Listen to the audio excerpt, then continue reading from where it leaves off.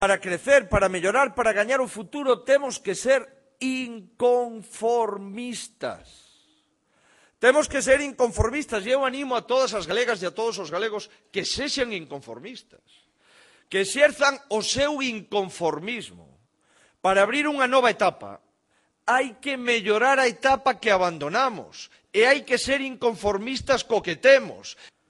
Pero ademais eu son inconformista tamén comigo. Tamén comigo eu primeiro inconformista que quero ser é conmigo mesmo. E eu intento escoitar, e intento aprender, e pido perdón cando me equivoco, e serei o inconformista permanente o frente do presidente de Galicia.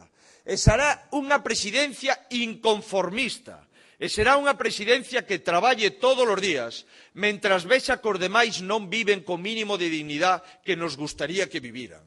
Por eso, amigos, os que estén conformes coa situación que hai, xa saben que voten o bipartito. Os que queiran mellorar, xa saben que voten o Partido Popular de Galicia. Ese é a receta, non hai outra.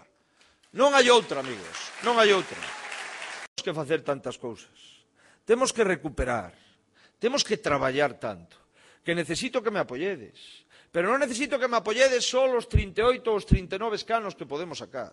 Necesito unha victoria, Unha victoria histórica, unha victoria para seguir modernizando o país, unha victoria para darse conta que nos momentos de dificultad Galicia está xunta, para darlle unha mensaxe a toda a sociedade de que Galicia sabe perfectamente que a democracia é posible, que é posible que gañe e que se goberne, que é posible que o próximo presidente de Galicia sexa aquel candidato que obtén máis votos, máis diputados e máis apoio, que é posible volver a dignificar as institucións poñendo frente a aquel que gañe limpiamente as eleccións.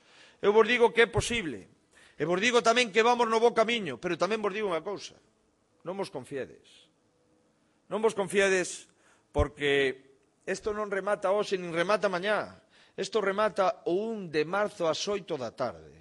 E por eso vos convoco hasta 1 de marzo Vos convoco os simpatizantes e os afiliados, pero sobre todo vos convoco aqueles que nos votaron no ano 2005 e nos deixaron de votar.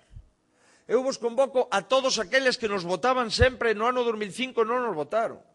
Eu convoco tamén aqueles que non votan, porque neste caso teñen que votar e participar na decisión democrática de que goberno poñemos frente á crise.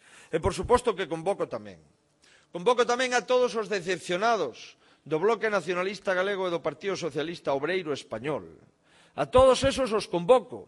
Os convoco en nome dun partido aberto, en nome dun partido enraizado coa terra e, sobre todo, en nome da liberdade, en nome da democracia e en nome das persoas que hoxe nos miran con máis esperanza